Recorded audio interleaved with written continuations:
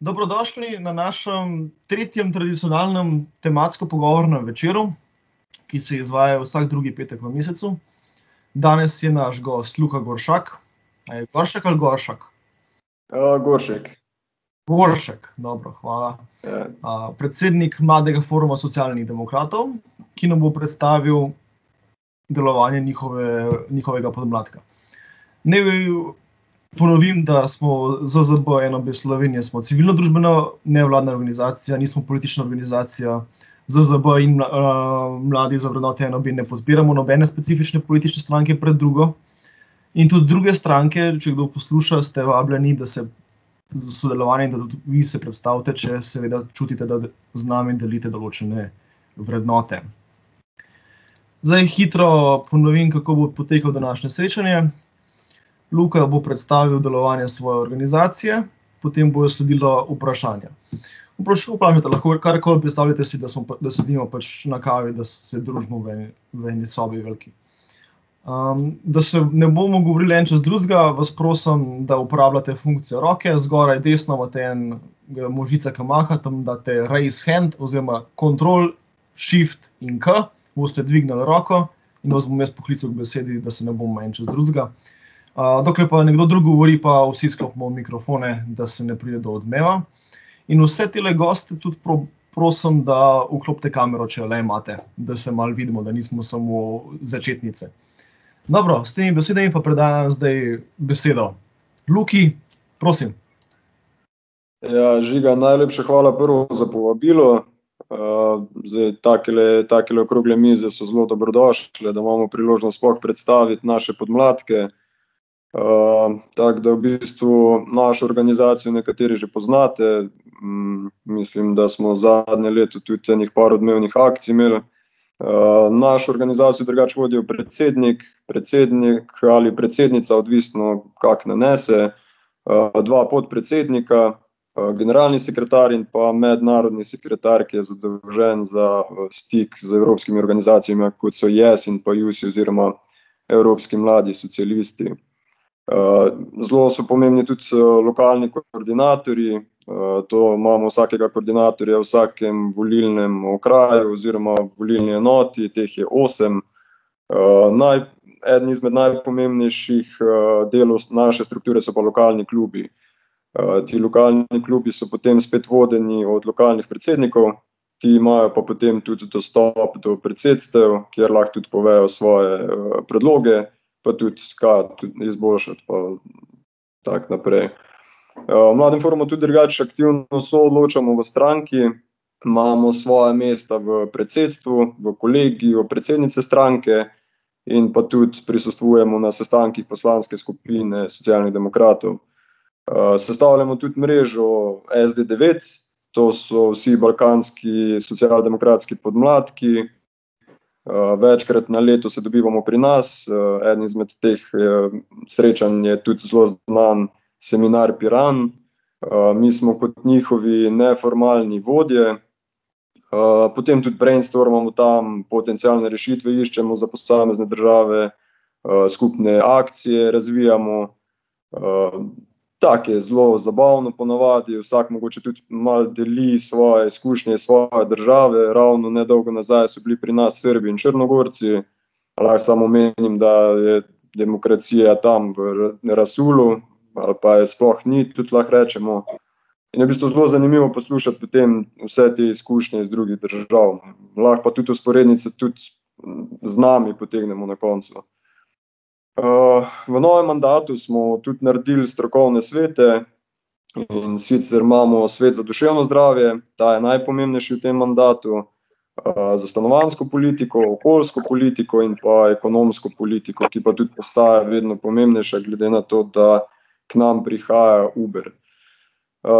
zdaj ravno ta mesec zaključujemo s pisanjem vsebine, pri vseh svetih bo zaključeno nekje do petnajstega aprila, kasneje bomo to zbrali v eno tako manjšo knjižico, ki bo pa potem tudi na voljo vsem zainteresiranim. namen te vsebine je pa tudi, da aktivno sodelujemo pri kreiranju potem vsebine stranke.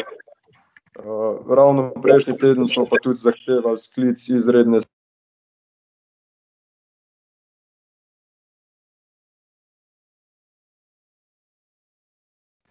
Samo trenutek, Luka, uh, Ja, mutant si. sreča me smotiral.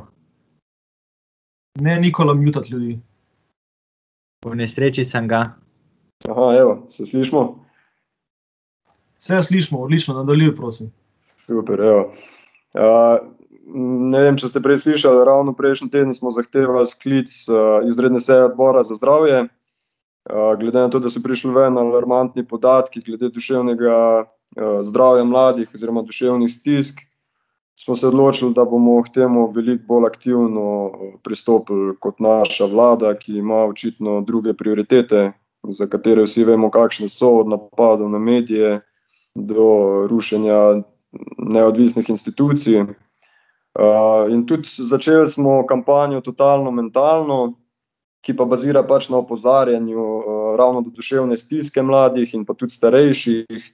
Uh, s to kampanjo želimo predvsem pač razbijati tabu, uh, to ta tabu, da se o tem ne govori, uh, mladi o tem zelo ne radi govorijo.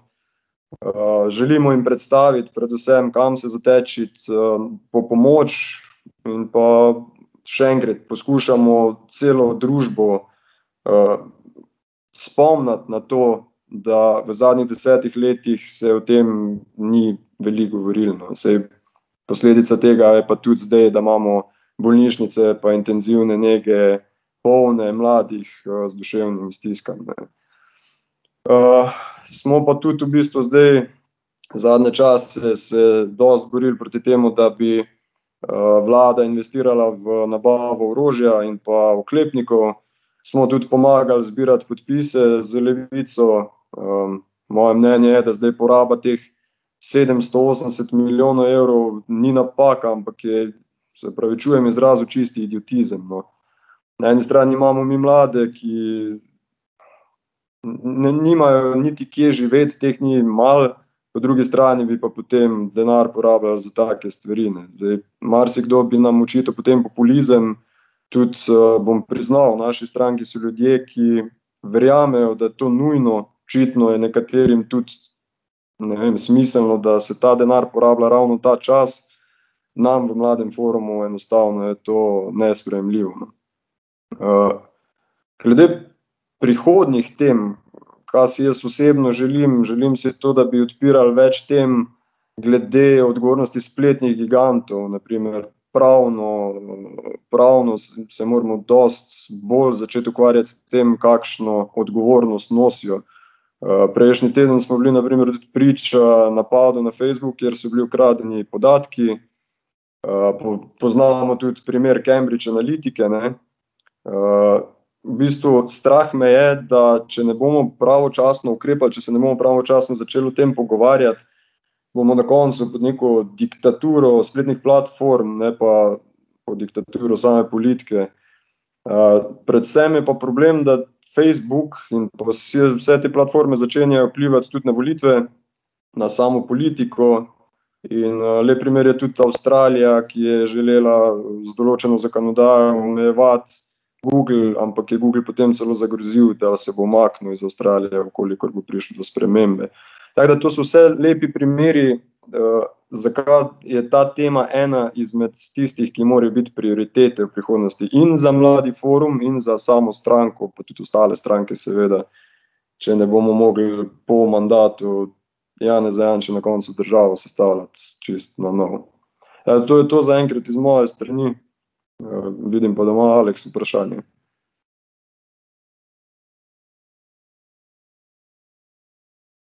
Ne, nimam vprašanja, sem tu le nekaj klikov po ekranu pre, preveč.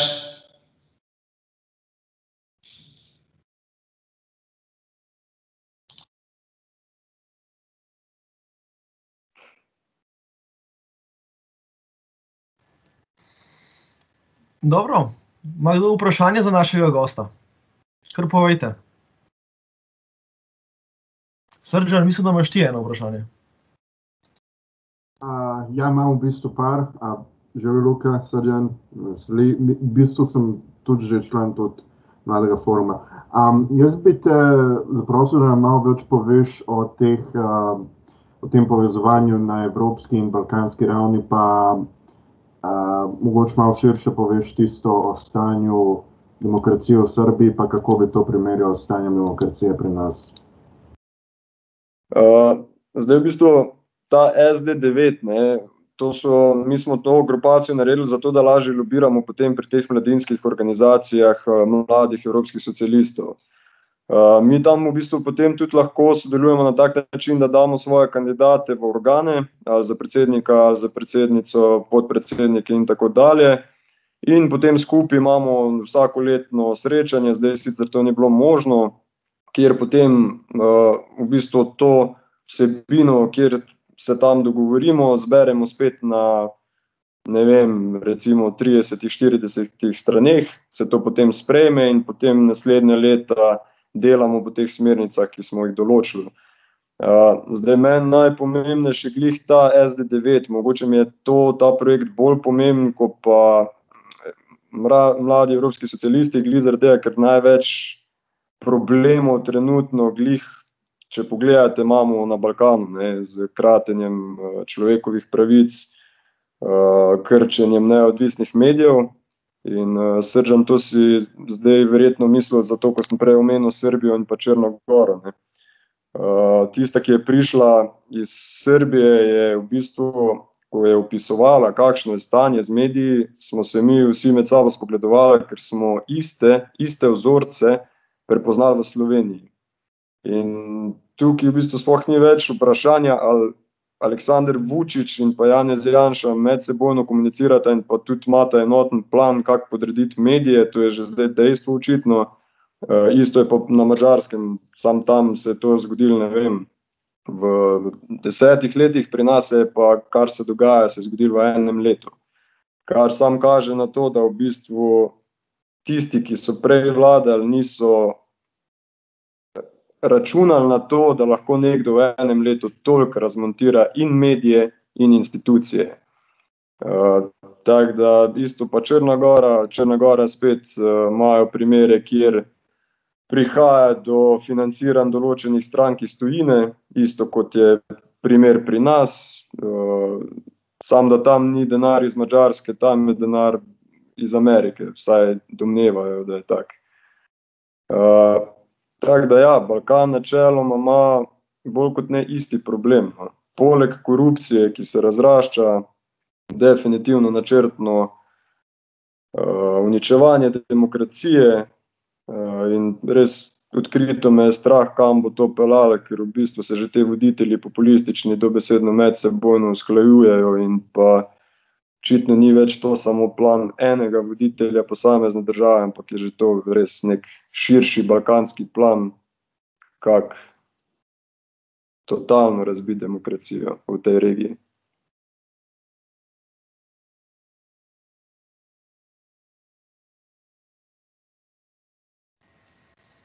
Hvala, Luka, za odgovor. Imel pa en roko gor, ali jaš? Jaš Curek. Uh, ja, Ja, uh, Uh, dan. vklopiš? uh, uh, če sem na računalniku, se vklopim uh, s telefonom. Kakor želiš. Uh, v redu, samo minutko. Um, lahko pa poveži vprašanje. da čas.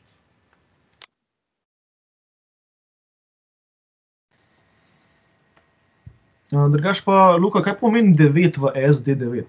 Zakaj 9 številka? Devet držav je sodelovalo noter. Zdaj, eh, pri nekaterih državah je prišlo do tega, da so se organizacije razbile in mogoče podmladki ne obstajajo več v takih oblikah, kot so, ampak drugače to zaradi tega. Ja. Katere države pa to? Srbija, Črna Gora, Makedonija, mislim, da nekaj cajta celo bila Albanija zraven, Hrvaška. Potem so še pa v bistvu v Srbiji sta delovala dva podmladka, pa oh, Črna Gora je imela dva, ko se je razbil njihov SDP, mislim, da je SDP. Tako da so se pri nekaterih državah potem še podvojili ti podmladki. Ne. Zanimivo. Uh, s katerimi strankami pa to sodelujete v teh državah? To so večinoma tisti, tiste stranke, ki jih eh, evropski socialni demokrati potrdijo. Ne. Uh, načeloma to ni več, oziroma ne vem, če je sploh kdaj bila socialdemokratska stranka bivšega premijeja Črne Gore. Njega mislim, da evropski socialisti niso nikdar potrdili oziroma sprejeli v svojo družino zaradi pač očitkov, ki so se vrstili. Ja, Džukanovičeva. Uh, definitivno pa tudi ni med njimi Dodikov, uh, Dodikovi socialni demokrati. Dodikov ni. Dodikov Ne, ni. de- ni. Ne, njega so, če se prav spomnim, vrgli že leta 2012 iz socialistične internacionale. Tudi. Um, vidim pa, da je Aljaž vklopil kamero, tako da Ja, kar, Nekaj njemu dobro. dal besedo. Jaš, kar vprašaj, beseda je tvoja.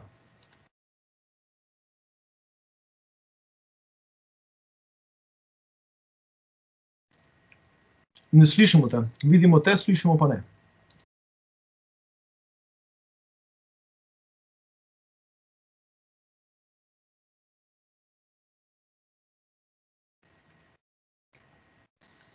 Aljaš ima očitno tehnične težave, pa bom drugega Aljaža poklical, dokler on to reši. uh, mislim, da ima manjce. Proščaka. A imamo že roko. Manca, kar povej. Oj. Jaz sem malo zamudila, pa se oproščam. Me pa zanima, um, koliko članov je v vašem pod- podmladku, pa um, um, na kakšni bazi se organizirate. Mislim, mogoče ste si to povedali že na začetku, sam sem zamudila par minut. Um, a se dobivate, oziroma kako, se, kako to poteka, uh, ves proces komunikacije? Uh, uradno je članov nekaj čez 2000, aktivnih članov je zdaj le trenutno recimo tak, da so res aktivni 110-120 ljudi. To so taki, ki jih imamo tudi na terenu, da jih lahko aktiviramo kadarkoli. Uh, imamo pa potem tak, zdaj glavni miting, ki ga imamo, je predsedstvo. Uh, mi smo se odločili v tem mandatu, da bo predsedstvo odprtega tipa. Jaz enostavno ne vidim razloga, zakaj bi predsedstva bila uh, zaprtega tipa, zaradi tega, ker vsi smo mladi ljudje, vsi moramo vedeti uh, iz prve roke informacije, kam, v katero smer bo šel mladi forum, tako je tudi v bistvu omogočena večja demokracija. Ne.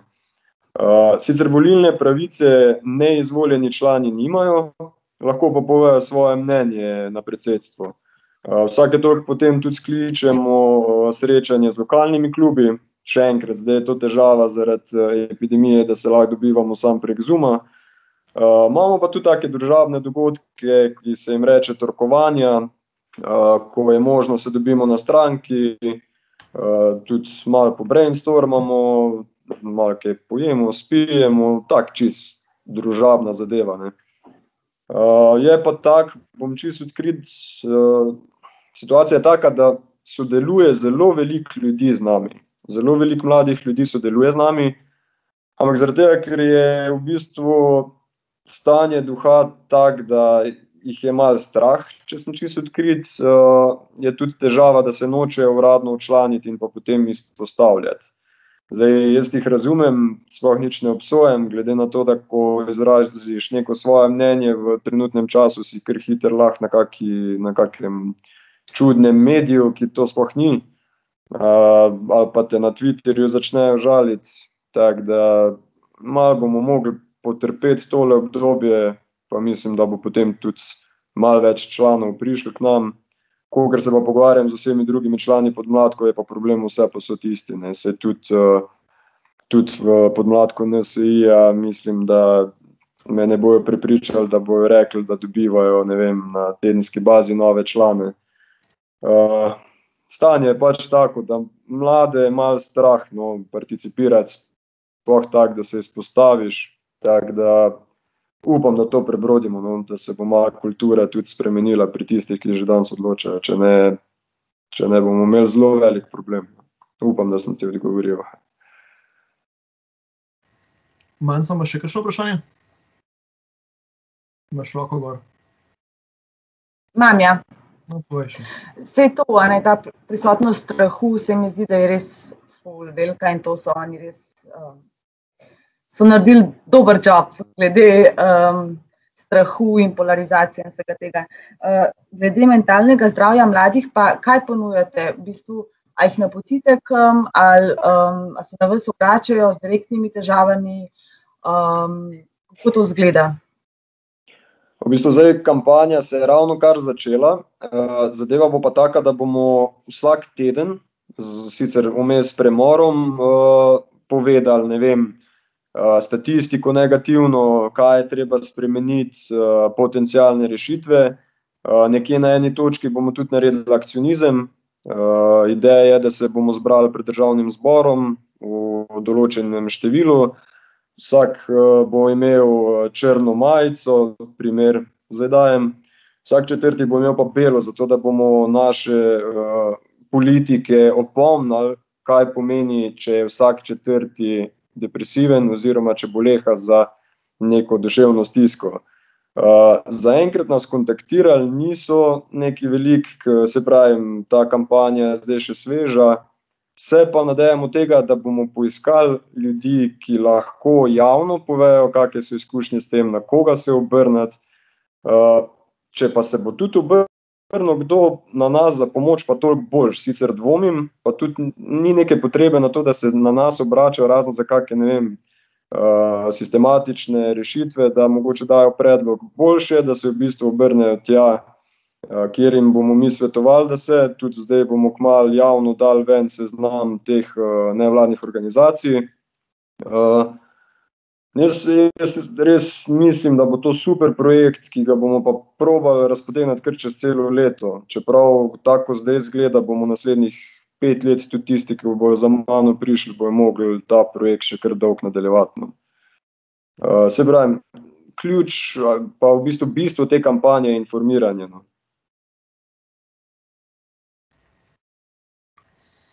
Hvala. Zdaj pa Aljaš, se slišimo. A, se slišimo? Odlično, slišimo te. Okay.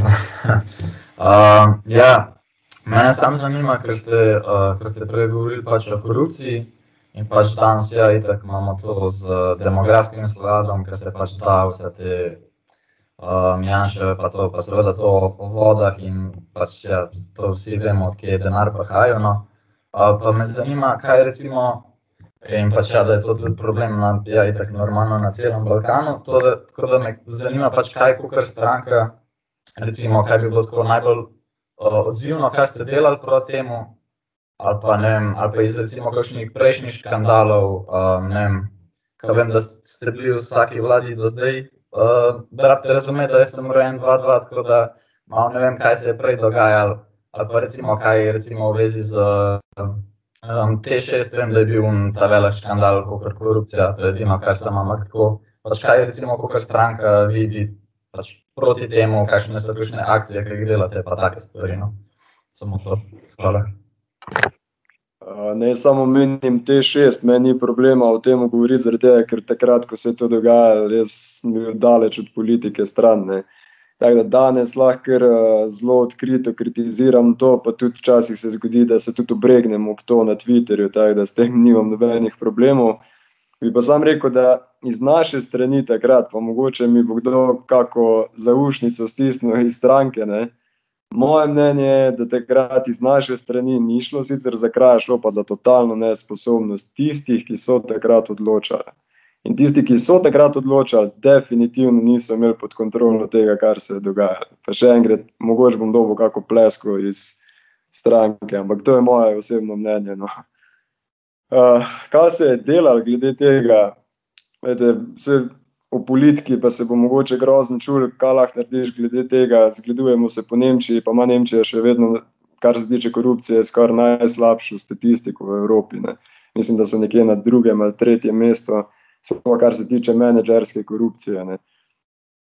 Dokler bomo mi, ne vem, na vsake štiri leta menjali od generalnih direktorjev policije, kakšni na štiri leta, na dve leti, se bo pač dogajalo to, kar se dogaja. Mi moramo neke varovalke dejansko dati noter, kjer bomo te ljudi, ki so na vodstvenih položajih, v represivnih organih, jih moramo zavarovati. Zdaj, na kak način, jaz nisem iz te stroke, Sem pa mnenja, da enostavno vsak minister, ki pride recimo na notranje zadeve in lahko odstavi generalnega direktorja policije, to je zgrešeno. No.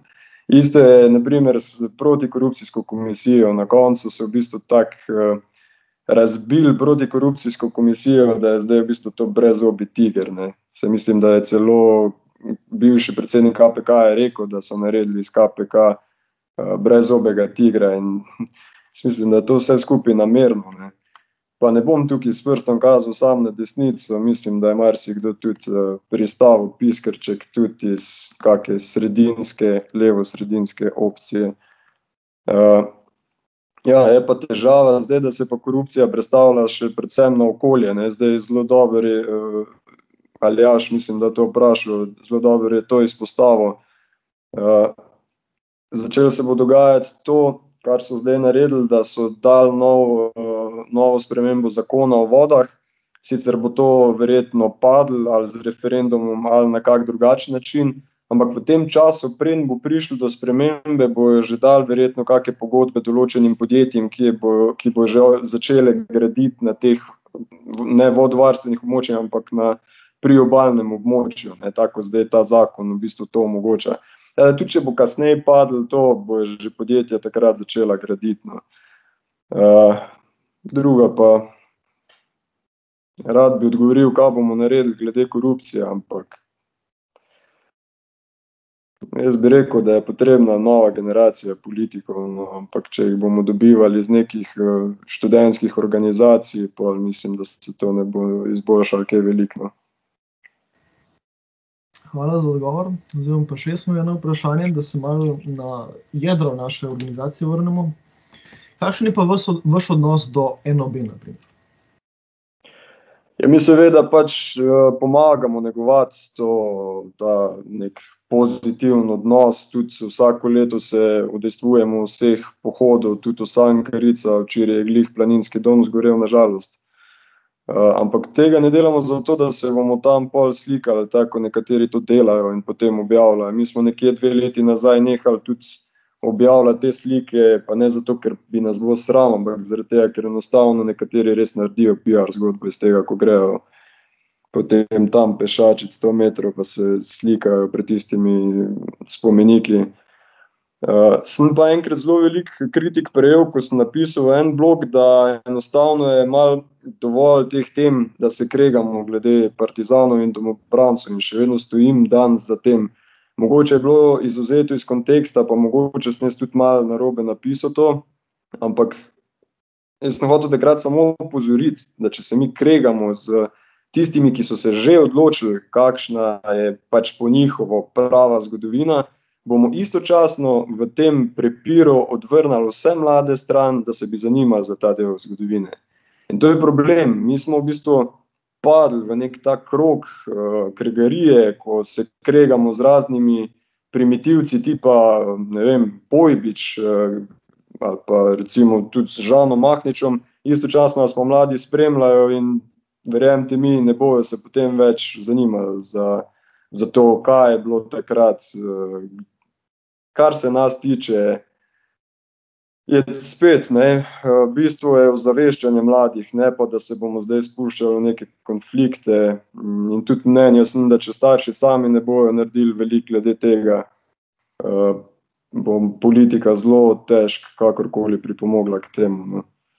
Čeprav smo pa v času, ko bomo mogli na to biti veliko bolj pozorni.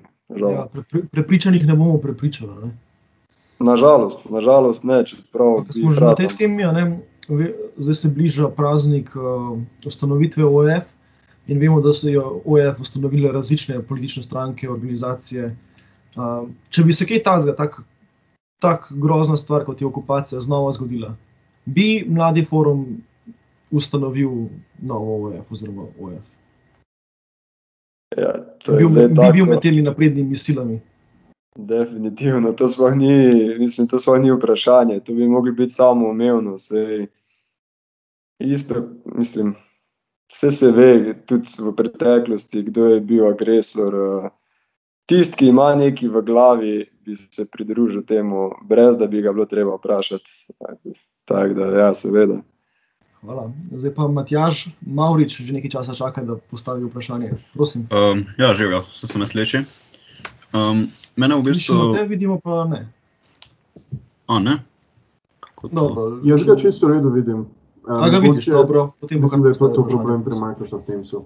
Ja. Um, no, jaz imam eno vprašanje, kar se tiče predsednika republike, Pahorja. On je bil v bistvu izvoljen z vašo podporo. In um, zdaj pa že nekaj časa poudarja to spravo in je tudi moderiral naprimer, dogovarjanja z Belogardesti in no, to simboliko. In no, v kontekstu te današnje situacije, ker so ti fašistoidni elementi postali že skoraj del vsakdana, kaj, misli, kaj menite, kakšno odgovornost nosi to njegova dejanja in kakšno nadaljno odgovornost nosi vaša stranka za to, ta pojav te radikalnosti na desnici? Ne samo menim, da z mojo podporo ni bil izvoljen. Takrat, žal, jaz še nisem bil na takem položaju, da bi kakorkoli prispeval svoje mnenje. Uh, jaz mislim, da se stranka zaveda svoje napake, ki jo je naredila takrat, da ga je podprla za predsednika države. Uh, jaz ga sicer zdaj kritiziral ne bom, ker pač, uh, če bi ga hotel kritizirati, bi želel, da je tukaj, pa da se lahko brani. Uh, je pa tako, da se veste, tudi Hitlerja je v bistvu omogočil takrat še ne. Vemo, kdo. In tudi zdaj Janšo so omogočili razni kvazi liberalci s Pahorjem isto načelo. In uh, Borod Pahor, kakorkoli v preteklosti, ne bom rekel, da ni vse slabo delo, ampak rečemo tam deset let nazaj, pa še pred krizo, potem pa mislim, da je kar hitro izgubil kompas. No. S tem, ko, ga pa, ko ga je naša stranka na zadnje podprla, je pa posledično tudi kar dost. Um, pripomogla k temu, da imamo predsednika, ki se ne odziva na aktualne dogodke, ki se izogiba kakršnim koli resnim statementom. Uh, on je tam v bistvu, kot mi deluje, da še sam počaka, da mu se zaključi mandat. Ta čas mu bojo verjetno, oziroma nam bojo uničili STA, Slovensko tiskovno agencijo pa verjetno še RTV, ko kar gledam zadnje čase, že tudi njihovo poročanje, ker konkretno pod vplivom. On pa pač zaliva rože, pa se slika za Instagram, žal. Torej se distancirate od njega zdaj? Definitivno. Hvala za odgovor. Ko smo že na temi tiskovni agenciji, pa ko smo malo prej omenjali Balkan, um, Pred leti, par let nazaj, je Republika Srbija ukinila Tanjug. Tanjug ni hotel, da se jih ukine in je stano nadaljeval z delovanjem. In zdaj so jih bili prisiljeni, da jih obdržijo pri življenju. No, zanimivo. Je pa to nekaj, kar dvom, da bi še tako močen direktor STA zmogel prepraviti delavce, da s svojimi interesi in enostavno tem, da ne greš, ohraniš tiskovno agencijo pri življenju. Ne. Um, zdaj imam pa še jaz eno vprašanje, ki smo že omenjali Nemčijo, malo zgodovino. Kateri struji socialdemokratov vi pripadate? Ne? Skozi zgodovino smo imeli več nekih tokov socialdemokracije, Lenin, Rosa Luxemburg, Tony Blair. Uh, v kam bi se vi uvrstili? Uh, Definitivno se ne bi mi uvrstili v Tony Blairovo, ker uh, vemo, kam je njegova politika na koncu peljala. Ne? To je tista srednja pot ali tretja pot, ki jo je ravno začel prej omenjeni Borod Pahor. Uh, bi pa zelo težko uvrstil med vse te, ker oni so bili. Uh, Sodelovali kar v preteklosti. No. Zdaj so časi malo drugačni, mislim, da socialna demokracija se bo mogla malo posodobiti. Pa to ne mislim zdaj posodobiti v smeri neke tretje poti, ampak glih obratno. Socialna demokracija bo mogla iti veliko bolj nazaj levo, zdaj ne toliko levo kot levica, pa to zdaj ni kritika na levico, en drugega pač dopolnjujemo na en način. Pa tudi zdaj, zadnja napaka nemških socialnih demokratov je bila pa ravno ta velika koalicija. Ne. Mm, jaz mislim, da te napake mi, mi ne bi naredili, no. ker da smo se tudi od njih naučili. Mm, in tudi posledica v Nemčiji je zdaj to, da so v bistvu zeleni prevzeli njihovo volilno sfero. Tako da zelo težko bi izmed ostalih, razen Tony Blaira, kam bi nas uvrstil, no, če sem čisto odkrit. Definitivno pa ne v Blairovo neko to tretjo pot. Dobro, hvala. Manjca, prosim. Uh, mi je že odgovoril na vprašanje prej glede Pahorja, tako da hvala. Dobro, hvala. Kdo ima še kakšno vprašanje? Uh, mislim, da je Jakob Mlakar držal roko prej. Jakob?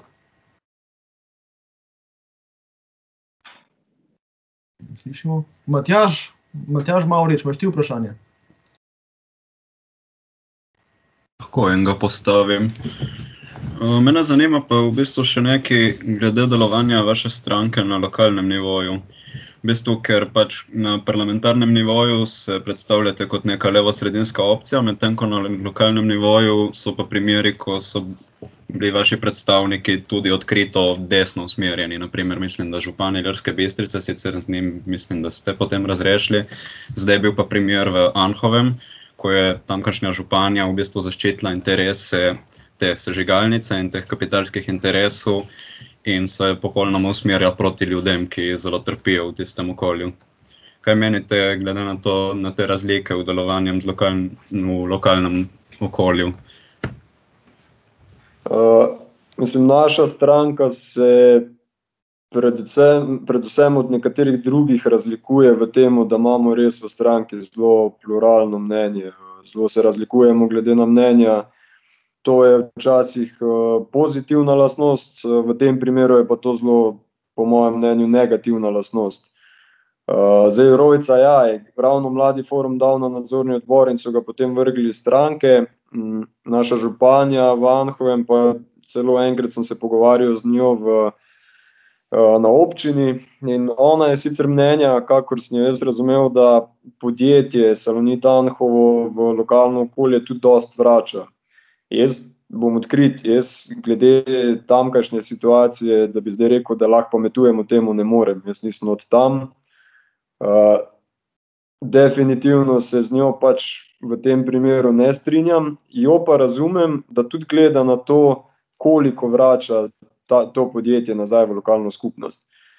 Ampak to po mojem mnenju ni dovolj, no, enostavno to ne more biti dovolj, ker na koncu bojo oni zastrupili ljudi tam in tako zdaj zgleda, se situacija ne izboljšuje. Kolikor vem, je Tanja Fajon tudi imela en resen pogovor z njo. Uh, vsebina tega pogovora mi ni znana, ker se tudi nisem v bistvu vtikval v to. Upam pa, pa tudi uh, verjamem, da bomo prišli do neke rešitve tam, ker če ne, bo res totalna katastrofa za okolje, ne glede na to, koliko podjetje vrača v lokalno skupnost nazaj. Um, če še nekaj dodam k temu vprašanju, me tudi zanima ta njen način delovanja, ali če smo že pri tem županji. Ker v bistvu njen način delovanja je zelo podoben SDS-u. Naprimer, je napadala medije, obračunala z njimi, tudi ni dovolila, da se, mislim, da so imeli neko konferenco ravno glede tega salonita, ne salonita, sežigalnice, pa ni dovolila snemanja. A se vam zdi primeren ta način delovanja za vašo stranko in v okviru vaše stranke?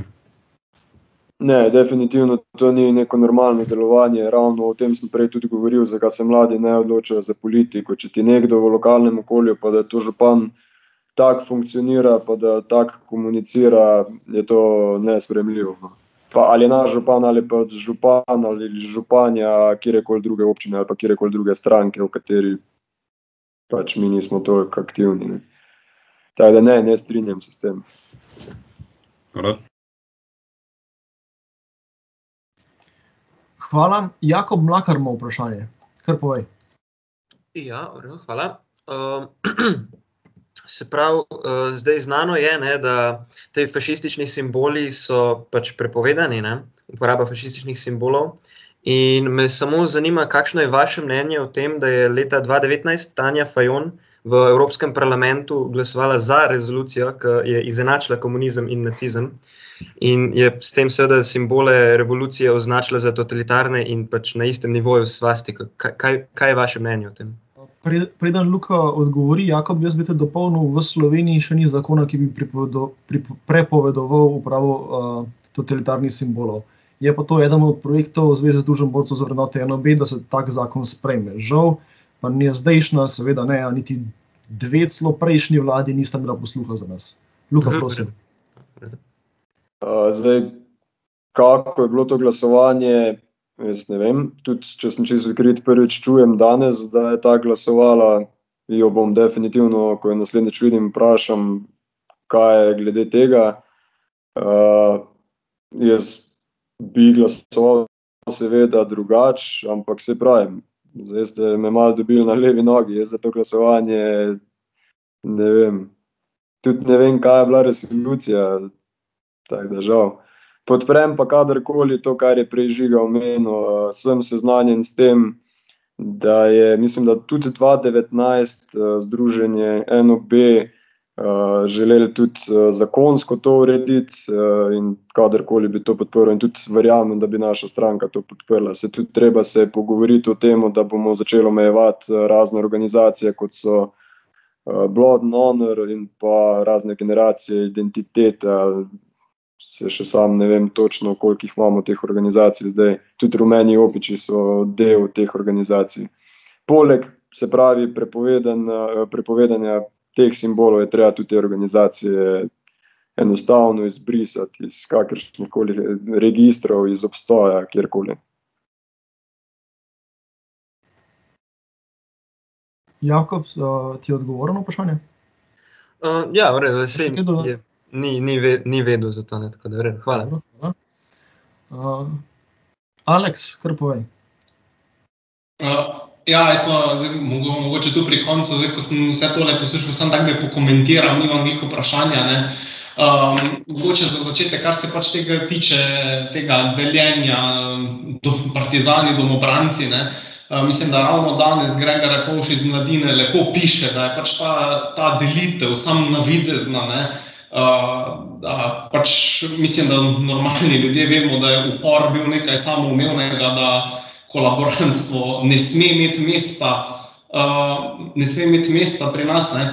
Ampak po drugi, po drugi strani, če pa pogledamo Ameriko, ne, oni se še danes kregajo zaradi državljanske vojne, ki so jo imeli, ne, pa je bilo to dost, dost pred drugo svetovno vojno. Uh, mogoče, če pokomentiram še to, ne, pa upam, da me ne bojo zdaj tukaj kolegi iz Zveze borcev preveč grdo gledali. Jaz zelo podpiram to, da se pač ustavi orožarske nabave, teh 780 milijonov bi dosti bolj pametno kje, kje porabljene.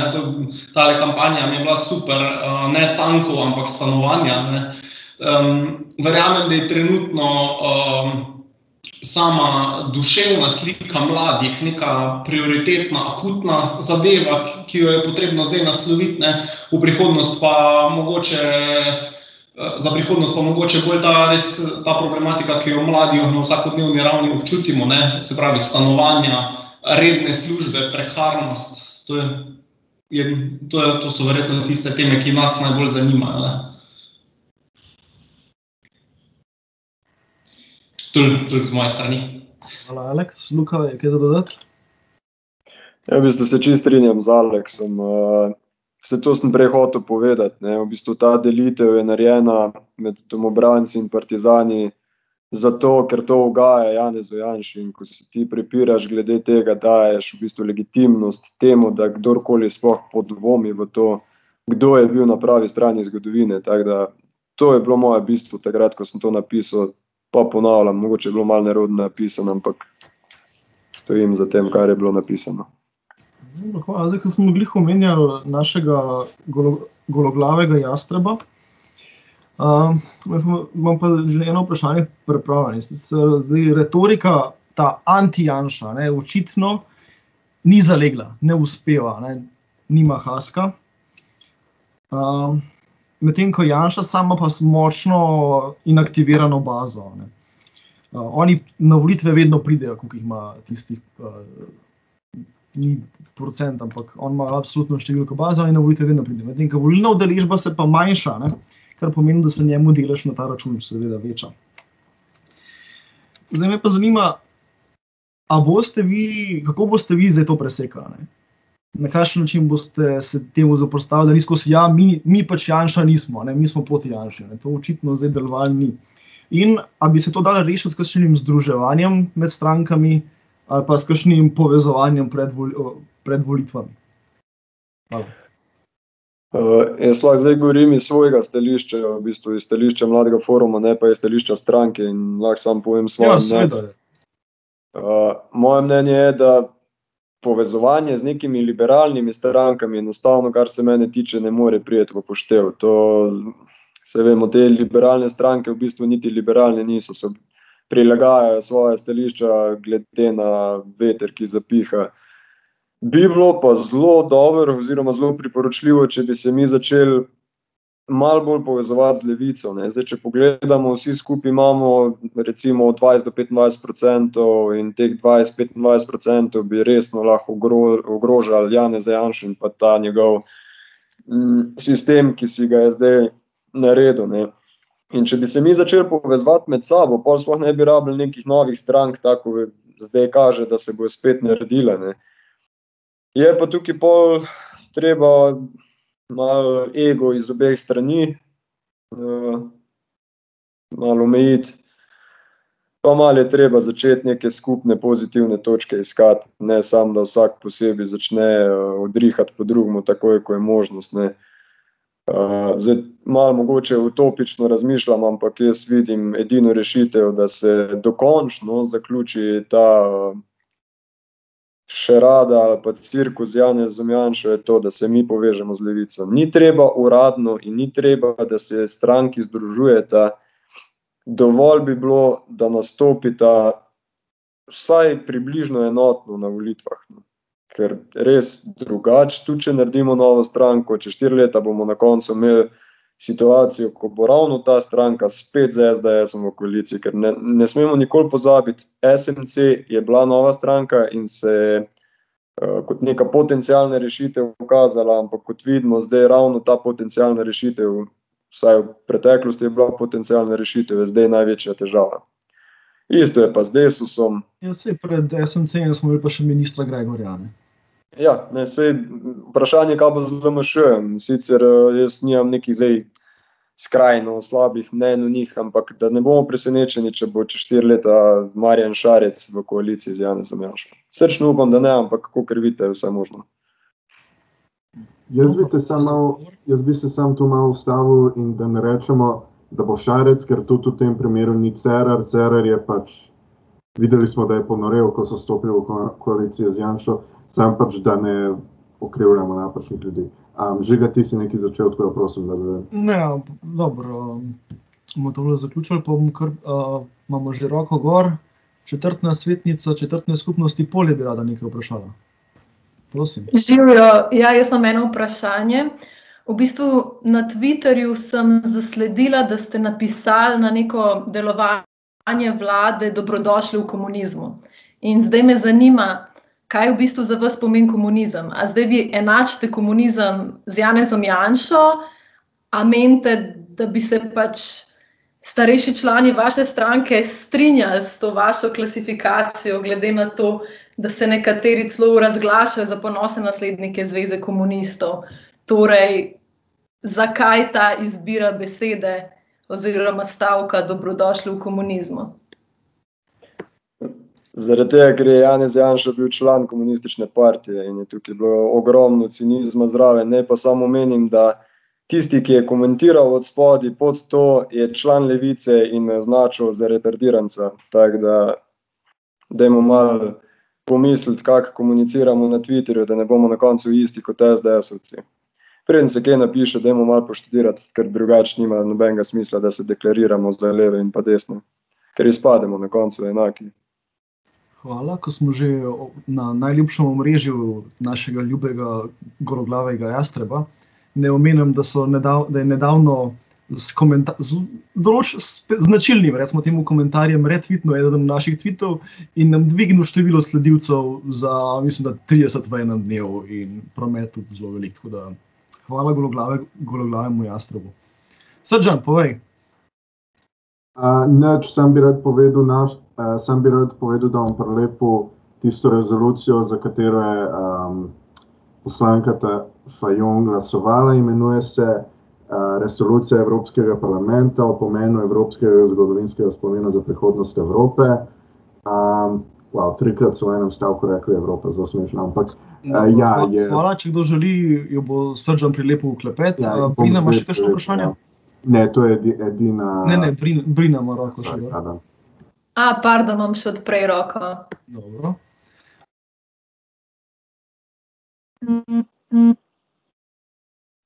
Uh, jaz sem to resolucijo pogledal, pa bom pa dejansko vprašal Tanja, o čem se je šlo, pa zakaj je bilo tako glasovanje. Se pa pravičujem, ampak odgovore res prej na tisto vprašanje nimam. No. Dobro, hvala. Pa pogledamo kar še naprej na vprašanja. Uh, zdaj, Lukšič je itak v vaši stranki, tako da poznaš, kako on klasificira malo politični spektr. a Ne? Na kjer del tega spektra bi se vi uvrstili? Zelo enostavno. Mm, Vi kot mladi forum, oziroma SD kot celota, pod, po oceni mladega foruma. Se pravi, če dobro razumem vprašanje, če bi ga podprla ali ne. Ne, ne, na kater del političnega spektra se uvrščate kot stranka, kot organizacija? Aha, da, Zanima me ta njegova kandidatura. Malo si me z Lukšičem zmedel. Ja. Ja, Uh, definitivno, v bistvu, zdaj stranka, kako koli včasih reče, da so vem, levo-sredinski, kar po mojem mnenju leva sredina spet ne. Že sredina sama od sebe je nesmiselna. To, s tem se deklarirajo tisti, ki nimajo osebine. Ne. to je že tisto preveč napohorjanstvo, diši. Ja. Ja, jaz tega izraza ne bi več uporabljal. No. Sredina, sploh zdaj v tem času, je pa se tega ni. No. To je ta neka tretja pot. Tako da bi rekel, da smo, smo dejansko šli bolj levo, sicer mladi forum veliko bolj, veliko bolj funkcionira, tako pa tudi komunicira levo od stranke, ampak tukaj moram pa pohvaliti stranko res odkrito. V zadnjih treh letih ne glede na posamezna glasovanja, kjer je spet eh, prišla do izraza ta pluralnost stranke, to eh, raznoliko razmišljanje, smo šli nazaj na tiste prave tirnice, no, smo se malo bolj distancirali od eh, te tretje poti, ki nam je naredila res izjemno škodo. In tudi mislim, da gremo v pravo smer. Tanja, Tanja ima nek ta čut za socialno demokracijo, kaj socialna demokracija sploh je, ker včasih se mi zdi, da nekateri naši člani in pa tudi naši funkcionarji izgubijo kompas. No. Sicer se pravim, stranka, tista, ki je zdrava, bo vedno imela različna mnenja, ampak bi trenutno stranko kar uvrs- uvrstil na levo stran. no.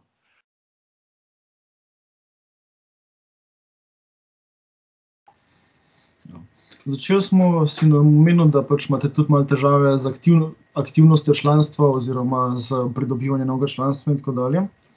Pa me zanima, kaj je mladi forum, vi konkretno na, ste na terenu naredili, da se mladina aktivira, da mladina začne pač aktivno participirati, aktivno delovati v svojem interesu.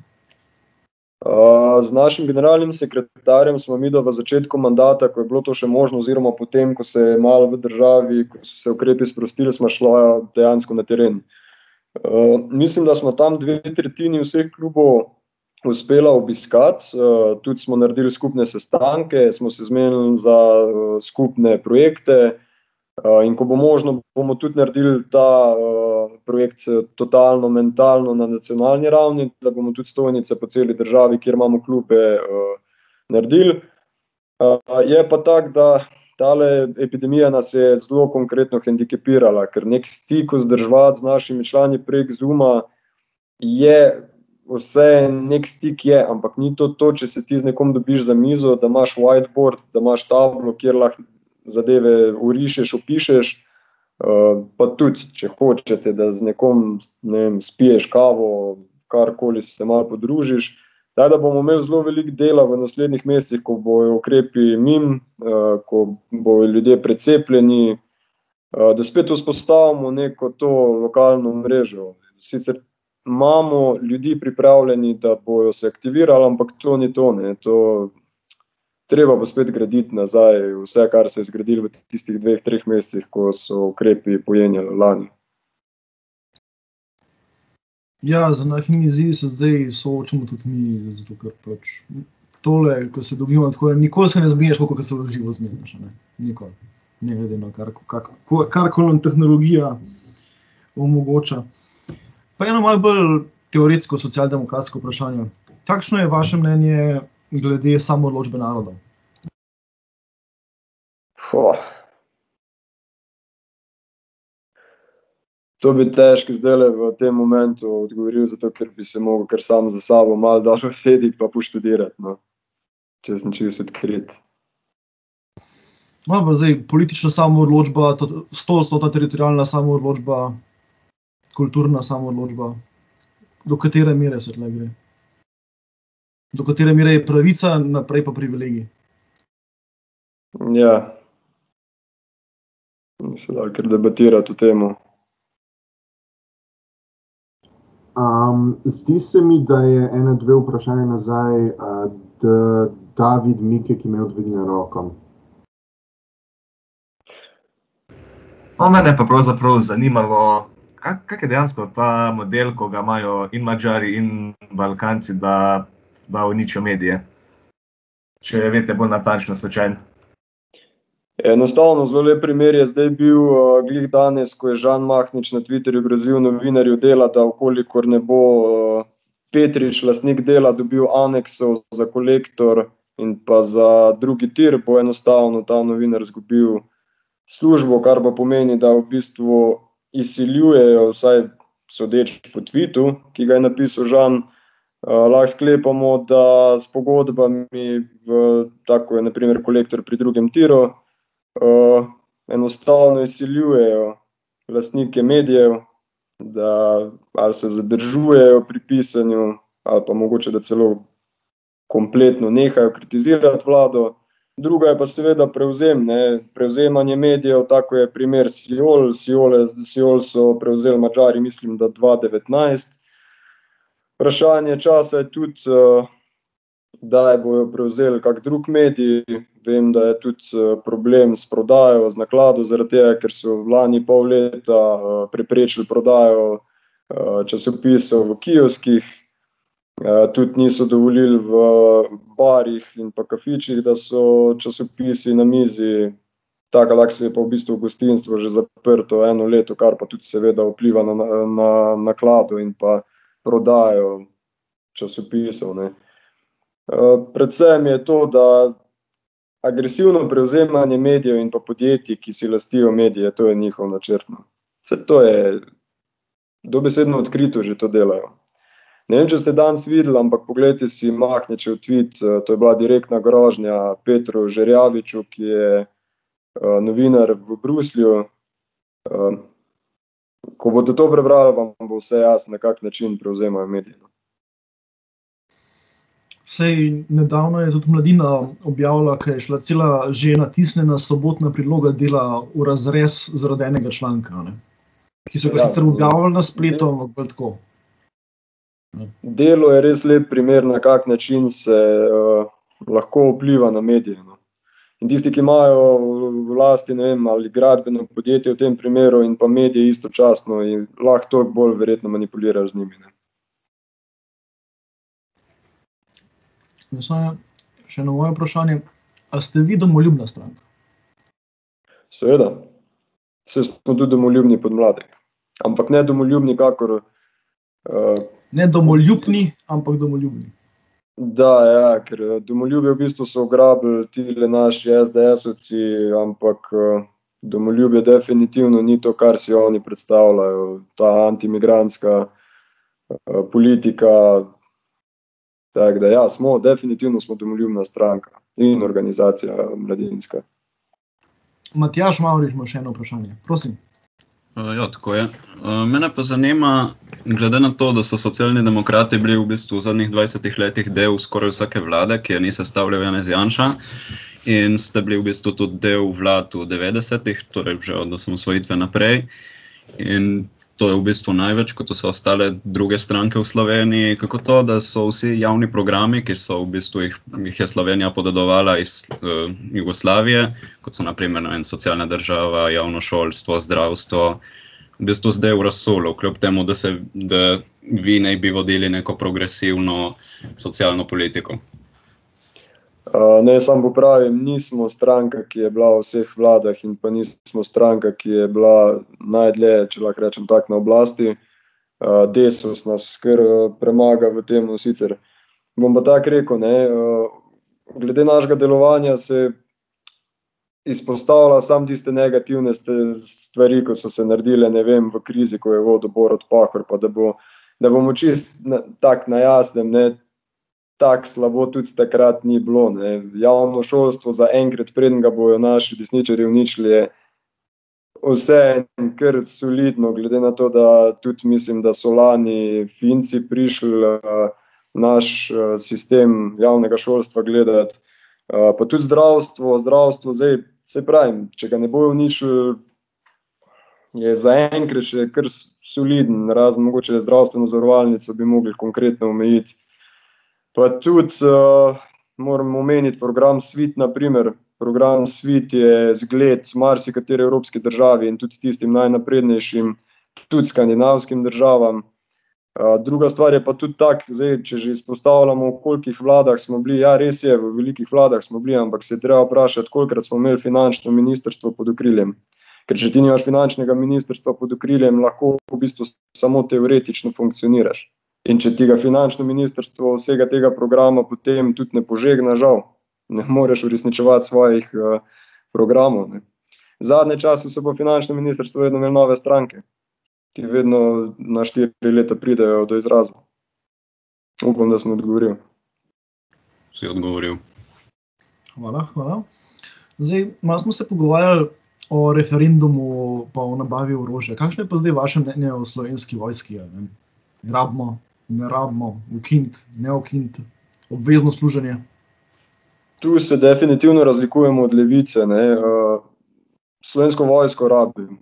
Definitivno, če smo se odločili, da gremo v NATO, če se je narod odločil, da gremo v NATO, potem je tudi treba pač se držati tistih stvari, ki smo se jih takrat dogovorili, ko smo šli v to strukturo. Ne. Zdaj, lahko si mislimo, karkoli v NATO, jaz imam zelo specifično mnenje o tem, pa ni pozitivno mnenje.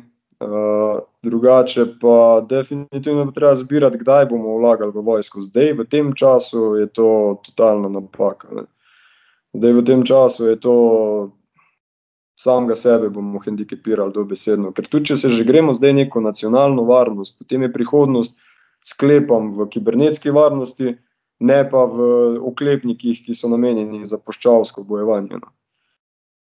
In definitivno je treba vojsko obdržati. No, kar se tiče pa obveznega služenja vojske, pa to jaz temu nis, jaz nisem pristaš tega. Pa praviš, da tvoje mnenje o NATO ni glih najbolj pozitivno. Kakšno pa je tvoje oziroma mnenje mladega foruma in da bi podpirali kakšno uh, kampanjo, ne vem, dejansko nek poskus izstopa iz NATO pakta? V bistvu, še enkrat, jaz bom zdaj povedal svoje mnenje. Mnenje foruma, mnenja se razlikujejo pri nas. Ne. Uh, NATO, definitivno ne vem, če služi svojemu namenu. Ne. Sam spomnim tisti napad na Beograd leta, mislim, da je bilo kdaj, 99. Uh, ravno sem eno knjigo bral zdaj, ki jo je napisal en uh, bivši angliški novinar. In ko to prebereš, res vidiš, da v bistvu se vprašaš, čemu sploh služi NATO. No. Res. In tudi to izsiljevanje od posameznih držav, uh, glede finančnih prispevkov, ker to, kar se zdaj dogaja pri nas, teh 780 milijonov evrov, to je izsilo NATO, po mojem mnenju. Dvomim, da bi se pa ne branim, ne se je. Pa spet, pa spet še F2000, ki se zlomijo, ko jo grdo pogledaš. Ja, se to, to, to definitivno je izsiljevanje NATO. No, in tudi to, kar bomo kupili, oziroma upam, da ne bomo, se z nami sestavil NATO. No. Se, to mislim, da je vsem jasno. Ne. Hvala za odgovor. Tri roke so, smo imeli gor, pa so šle spet dol. So bilo vprašanje odgovorjeno ali ostajajo? Kar povejte. Aleks, mislim, da je imel srčan, pa še en. Ne. Dobro, potem pa. Ja, jaz, uh, jaz, uh, v bistvu sem hotel za NATO vprašati, ampak pa se ti vprašal že. Tako, um, to, to vprašanje je v bistvu bolj za te osebno, um, Luka. Uh, če ne v NATO, kje potem vidiš uh, zunanje politično prihodnost Slovenije? Glede vojaške strukture, misliš, zunanje politike? Pač NATO je tako vojaška kot uh, politična in do neke mere gospodarska organizacija, tako da v bistvu splošno. Mislim, ena zelo simpatična ideja je tista, ki jo je Macron, uh, mislim, da lani umenil glede Združene Evropske vojske. Uh, ampak na koncu koncev se spet vprašamo isto. Ne, bomo spet mogli prispevati milijarde vsako leto, ali bomo imeli neko malo bolj ne vem, fleksibilno prispevanje, glede na situacijo, v katerih so države. Ne, ker NATO, kot vidimo zdaj, vse jim je, ali je globalna epidemija ali ne. ne. Tako da tudi dvomim, da bi v tistem primeru Združene Evropske vojske bilo pa kaj drugače. Ampak zdaj, mogoče spet en stavek, ko me bo kdaj v prihodnosti tepo, brez Amerike bi bilo mogoče malo manj izsiljevanja. Tako da ne vem, bolj, bolj vidim možnost, da se povezuje skupna evropska vojska. No. Ja, ja, je, je pa res, da je en problem, ki bi ga vojska Evropske unije imela, da bi imel 27 poveljevalnih jezikov. To pa ne bi šlo skozi. Ima NATO Vprašanja? 28, NATO ima 28, je zraven še Turčija. Ne, poveljevalna jezika ima dva. Mm, fair enough. Evropska unija pa mora delati vse v vseh jezikih. Kako ste pa zdaj v mladem forumu, ki reagirali na te ukrepe, ki so zdaj že ustavno sodišče zadržuje, ki so očitno neustavni. Zapuščanje države se, se ne dopušča. Ne? To je huj, ko v tako imeno, če uporabimo besede gologlavega jastreba, mračnih dneh eh, totalitarnega komunizma. Um, kaj boste kot mladi forum, ki glede tega naredili? Boste kaj protestirali? Kakšni so vaši plani? Mi en protest smo že izvedli, to je bilo s tistim famoznim kipom, ki ga je naredil študent uh, kiparstva in smo ga postavili pred državni zbor. To je tisti uh, slavni kip, uh, ki drži sredinca proti državnemu zboru. Uh, ne glede na to, da smo takrat se držali ukrepov, da smo nosili maske, da smo imeli distanco, smo na koncu dobili 3600 evrov kazni, pa potem polovičko smo pokrili. Uh, Drugač pa, ja, zdaj proteste bi mi v bistvu organizirali, pa se jih udeležvali, če ne bi na koncu bile finančne posledice. Ne. Uh, lahko je to narediti, ampak na koncu bo vsem našim članom, ki pa so mladi, pa so študenti, nekdo mogel pokriti te kazni. da Vse to je v bistvu rak rana trenutnega časa, vsi vemo, da če bi bilo možno, bi danes, verjetno že, pa še petek je, protestirali cirka 20 tisoč ljudi, sigurno pred državnim zborom, ampak noben si ne upa glih zaradi teh finančnih posledic potem. Ne. Uh, moramo pa omeniti, no, sej ti ukrepi so res bili totalno, eni in totalno nesmiselni, skomunicirani so bili še slabši. Je pa pač dejstvo, da tudi če bi mi bili na oblasti, bi določeni ukrepi mogli veljati. Zdaj iz države bi ljudi seveda spustili, medobčinskega odloka sigurno ne bi bilo, vsaj iz našega bilo? stališča zdaj govorim. Definitivno ne, mislim, to je totalna neumnost, to se vidi, kdo je to določil. Vse od človeka, ki na Twitterju niti pisati ne zna, govorimo o Alešu Hojsu, pa tako ne moremo pričakovati, da bi kakršne koli primerne ukrepe tudi uh, uveljavil. Uh, ampak določeni ukrepi bi pa seveda vseeno mogli, mogli veljati. Ne. No, zdaj, ko si omenil to deklico, malo bolj hudomušno vprašanje. Komu ona kaže sredinca? Demokraciji ali SDS-u? Glede na to, da je usmerjena proti hramu demokracije. Ta naša Slovenija, tako smo rekli, da je ta, ta kip, ta, uh, tega sredinca kaže v bistvu vsem poslancem, ki so omogočili stanje, ki je danes. In ne govorim samo v tej koaliciji, govorim tudi o tem, kar ste že prej malo omenili. Bili smo marsikateri vladi, ja, in marsikater poslanc mogoče ni oddelal svojega mandata. In marsikater poslanc, mogoče tudi v naših vrstah, ne vem, to si vi v bistvu interpretirate, si zasluži tega sredinca. Tudi liberalci, tudi marsikdo na levi. da Na vsakomur je, da si sam interpretira ta kip. Dobro, Hvala. Manca, prosim.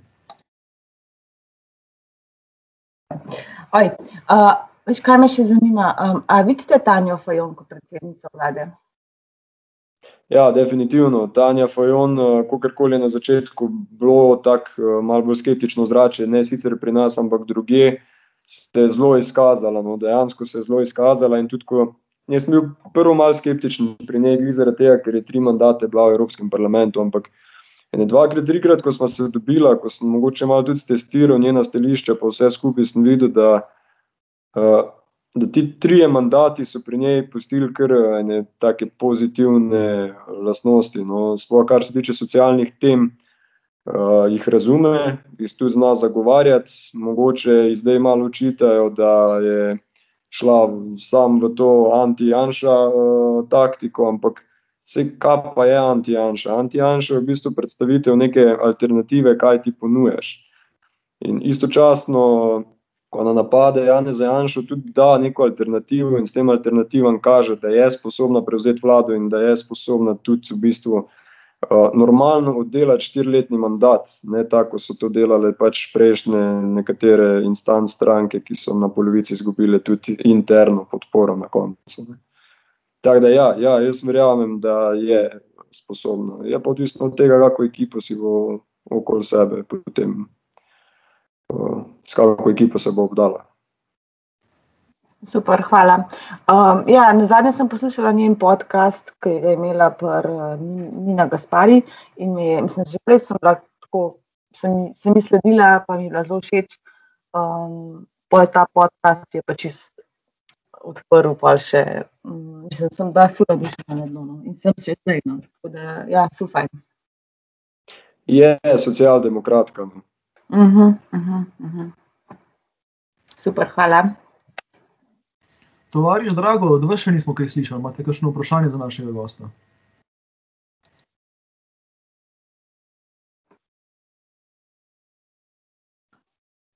Ja, pozdrav dobenega. Vprašanja nimam, jaz sem bolj kot ne poslušalec, ker sem računal, da bo nekaj naših mladih iz Bistrice se vključilo, pa vidim, da jih ni. Bi ga pa sam pozval, ker sem ga že enkrat, da čim prej, ko bodo te razmere mogoče pride v Bistrico, pa tudi malo tu jih organizira, pa koordinira, da bi začeli tudi sodelovati, pa pomagati socialni demokraciji v našem območju. Hvala. Bomo, bomo, definitivno bomo, bomo se z našim generalnim sekretarjem takoj, ko možno pripeljali. Ja. Sploh, če bo možno, kak špricer spiti ali pa kavo. Dogovorjeno. Imamo še kakšno vprašanje? Zorka, imate vi vprašanje? Ste prižgali kamero. Dobro, če ni vprašanj, bom jaz še nadaljeval s svojimi, pa mogoče dobi kdo kakšno idejo. Zdaj, seveda sem pač našega gosta začel uh, malo raziskal, zdaj me pa zanima, kaj ti porečeš na govorice, govorice so to, da ne kdo zamenja to z dejstvi. Da do, prihaja do nekega notranjega razkola v dve glavni struji v SD-ju, se pravi, ena smer pa Jonka, ena smer pa en drug uh, gospod. To dejansko prvič slišim. Pa glede na to, da, sem, da prisustvujem na kolegijih Tanje, pa da sem v predsedstvu, bi mogel vedeti sicer za to, ampak zdaj, če misliš koga, Janja Prednika, ki je kandidiral proti njej ali koga drugega. Ja, mislim, da je ta proti kandidat. Ja. Ne, Jani drugač zelo dobro sodeluje s Tanjo in tudi v poslanski skupini funkcionira čisto super in tudi ni bilo nobenih težav po tem, po kongresu, da bi kakorkoli bili v nekem konfliktnem ozračju ali karkoli. Se pravi, meni načeloma je to bilo še bolj dobrodošlo, da ima Tanja proti kandidata, ker smo demokratična stranka. Če bi, če bi brez proti kandidata bila, bi se še jaz sam vprašal, v kakšni stranki sem. Da, hvala Bogu, da se je javil Jani, da bo kandidiral, pa tudi za prihodne kongrese. Jaz ga mogoče celo spodbujam, da bi tudi poskusil naprej. Ne. Dobro, Če se bo držal Te moje informacije pripišemo zlim jezikom. Ne, Ja, to so taki bojan požar, verjetno informacije. ne bomo pustili to. Ampak, Hvala za odgovor. Drugač pa mi v mladinski organizaciji rešujemo problem, če ni proti kandidata, ali pa ker smo se že vse naprej zmenili, vedno obstaja črni Peter. Vedno lahko glasuješ za črnega Petra, tako da demokracija, da demokraciji je zadoščeno. Imamo še od, od poslušalcev kakšno vprašanje? Dajmo. Aljaš, Gračner. Ne slišim? Uh, a, mogoče, uh, če lahko, pač tukaj sicer ni ne, neposredno povezana z našimi organizacijami, ampak tovariš profesor Lukšič kandidira za rektorja univerze, uh, Univerze v Ljubljani. Univerza je pač res, da že po ustavi avtonomna, ne, da se politične stranke zdaj tukaj ne morejo ekstra mešati, pa ga podpirati, ampak mogoče samo tukaj, če malo omenimo uh, to, pa mlade na univerzi pozovemo k podpori. Ali, ali se slučajno mladi forum distancira od tovariša Lukšiča? Uh, ne, mladi forum se ne distancira od uh, Igorja Lukšiča, ampak bi pač prepustil vsakomur, zdaj tistim, ki so študenti na Univerzi v Ljubljani, da presodijo sami. Zdaj, ali bo glasovali za njega ali za koga drugega. Ne. Uh, jaz nobenemu ne bi usiljeval zdaj, koga, uh, koga izglasovati, zaradi tega, ker tudi nisem več študent in enostavno se ne čutim, da bi bil to bitko za kogarkoli drugega. No, Kakor vem, sploh ne vem, če je Igor Lukšič zdaj naš član je še, ampak koliko ima pa ambicije še delovati v naši stranki, je pa tudi vprašanje. Zdaj, če želi še kaj politično biti aktiven, pa ni neki najbolj pametno, da kandidira za rektorja. No. To se, To je modno. recimo Ivan Svetlik je že bil rektor, ne? Pa je, pa je bil tudi v socialnih demokratih. Ne? Ja, sicer meni men tako delovanje ni najbolj pogodno. Dobro. Na- Pravico naroda do same odločbe smo že omenili, kaj pa narodna su suverenost? Kakšno je vaše mnenje do narodne suverenosti? Mislim, to, to je zdaj spet tako bolj kot ne retorično vprašanje. Ne, zdaj, ne bi rad izpadel, ko zmaga Jelinčič, ampak uh,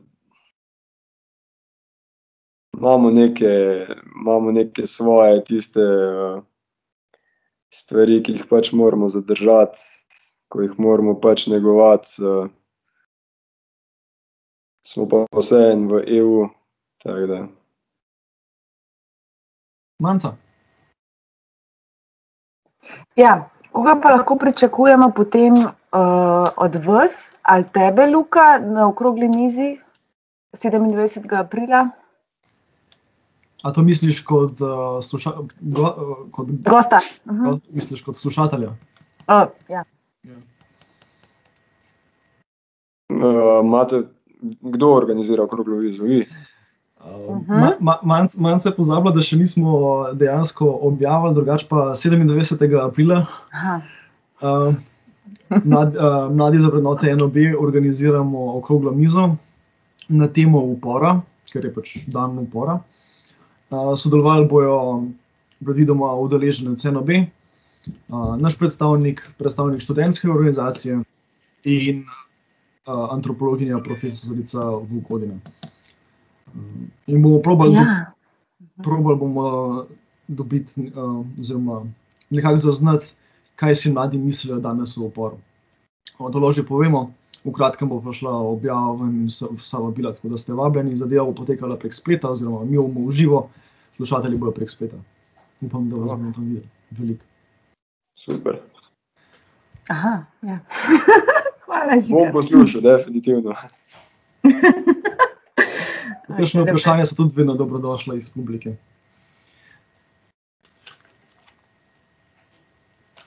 Jaz sem zdaj svoje vprašanje izčrpal, tako da zdaj, če še so slušatelji imajo kakšno vprašanje, drugače bomo počasi zaključili tole naše druženje. Ali, Uh, Sržan še ima roko, gor se mi zdi. ja, res, drži, povej. Um, res je. Uh, no, ajde eno tako malo bolj široko uh, za zaključek. Uh, Luka, kaj se, kaj, se zat, kaj se tebi zdi kot um, največji izziv, ki, s katerim se bomo soočali, soočali pač mladi, mlajša generacija v naslednjih, naslednjih ne vem, desetih, dvajsetih, tridesetih letih? Uh, definitivno v bistvu bo največji problem predvsem generacije teh od 2000 naprej platformne zaposlitve. Ne. Prej sem omenil Uber. Uber je malo večja težava, kot si lahko sploh predstavljamo, pa ne samo za taksiste, ampak za pač neko prekarno obliko dela. Ne. Zdaj smo imeli SP-jevce, zdaj pa bomo imeli v bistvu zaposlitev, ki ni niti prekarna, niti taka bolj, ne vem, niti sam, kak bi opisal. In uh, dokaz uh, za to je tudi Volt, naprimer. Tako da načeloma bo to največji problem, da ne bomo mogli opredeliti, kakšne zaposlitve to so, kar pa pomeni, da zraven ne bomo nobenih pravic mogli uveljaviti. Načeloma je to še slabše kot SP. Uh, je pa res, da rešitev je zelo preprosta. Ne? Pač teh podjetij, teh gigantov ne spustiš v državo. Uber je enostavno, mi nikakor ne bi smeli spustiti v državo. Volta tudi ne bi smeli, pa evo, ga že imamo tukaj. Uh, je pa načeloma se tudi zelo dobra praksa pokazala, mislim, da v Angliji, ko je ustavno sodišče določilo, da morajo tem delavcem, uh, ki so zaposleni prek platformnih zaposlitev, uh, da jim morajo dati uh, običajno delovno pogodbo. Uh, če bomo mi potem naslednjo vlado sestavljali tako ali drugače, uh, mislim, da mora biti to definitivno prioriteta, ker če ne se zna zgoditi, da bo uh, naslednja generacija poznala samo še platformno zaposlitev. Uh, pa ne samo v storitveni dejavnosti, ampak na koncu bo to se predstavilo vse posod, tudi na, vem, tudi mogoče na industrijo, pa vse posod, v glavnem. Tako da, ja, največja težava bo platforma zaposlitev. Na začetku pogovora si omenil vplivanje na volitve, ne, to je najhujših vplivanj v notranje zadeve neke države. Kaj meniš, mi veliko javnomnenjskih anket izvajamo, kaj meniš, koliko ankete vplivajo na dejanski izid volitev? Ne, se pravi, pred volitvami se stopnjujejo ankete, vsi bi radi vedeli, kakšen bo rezultat naprej. In zagotovo psihološko vpliva, kako bodo ljudje volili.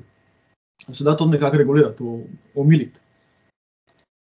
Mislim, lahko načeloma bi se določil potem uh, kot nek dogovor, da se ne delajo vsak mesec, ne, ker bodimo realni, vpliva se potem na javnomnenjske raziskave. Ponavadi tisti, ki je levo-sredinsko opredeljen, voli za tistega, ki mu najbolj kaže, ne, tisti, ki je drugi, zdaj nažalost drugi za Janezom Janšo. Uh, pa to zelo težko omejiti, zaradi tega, ker to bi bil tudi en tak poseg v svobodo potem, ne. Uh, se mi pa načeloma ne zdi prav, da se to meri vsak mesec, no, ker to je v bistvu mogoče tudi pripomore k temu, da se ljudje potem ne udeležijo volitev. To po eni strani je težava. Ne. Zdaj, oni delajo vzorce na, mislim, da 700 ljudeh. Uh, to je tombola. No. Tudi vprašanje, koliko so realne te, uh, te javnomnenjske raziskave. Sicer mislim, da je Nina medija ali medijana tista, ki je najbolj točna, vse ostale pa dobesedno varirajo tako. Naprimer, pri nas mislim, da pride tudi odstopanj od tam 3 do 5 odstotkov, tudi je že prišel. No. Kar pomeni, da niso čist najbolj realne. Še manj so pa realne tiste, ki jih dela Nova 24, pa njihov Parsifal, ali mislim, da je Parsifal njihov. Možno, da jim delam krivico, eno agencijo. Parsifal, ja. Je Parsifal, ne. Ti smo pa 10 odstotkov odstopanja. Ja, med Janšo pa med tistim, ki je drugi, potem minimalno.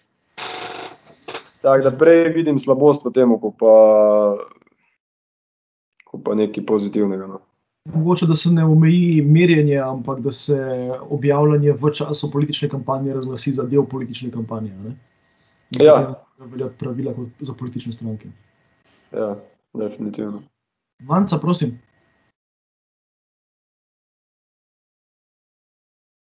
Jaz nimam vprašanja. Ma pa Um, Matjaž. Matjaž, ja. Matjaž. ja, um, mene zanima, a se tebi zdi, če lahko SDS sčasoma prehiti, eh, ne, če lahko SDS sčasoma prehiti SDS in se uveljavi kot nekako prva stranka, ali ima več možnosti za to, kakšna bolj desna ali leva opcija od SD-ja? Mm, trenutno bi rekel, da imamo mi najboljšo možnost, ampak uh, upoštevajoč, da ni še nobene novo nastale stranke. Kolikor se bo pa neka nova stranka pojavila, je pa že ta efekt nekaj novega, nekaj uh, čistega, če se lahko tako izrazim, ima seveda pač potem prednost, ampak upam, da bodo ljudje tokrat pogledali, kdo bo v teh novo nastalih strankah, ker pri ta zadnjih so ljudje samo cirkulirali potem od LDS-a, pa potem do SMC-ja, pozitivne Slovenije, to s- cirkulira eno in isti ljudje. No.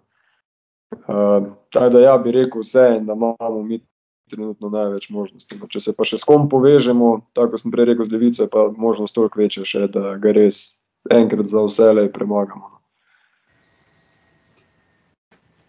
Kakšna tale una, kmetijska ministrica, bivša, ki je naredila stranko, to, sem, to še ni, to ni novi SMC.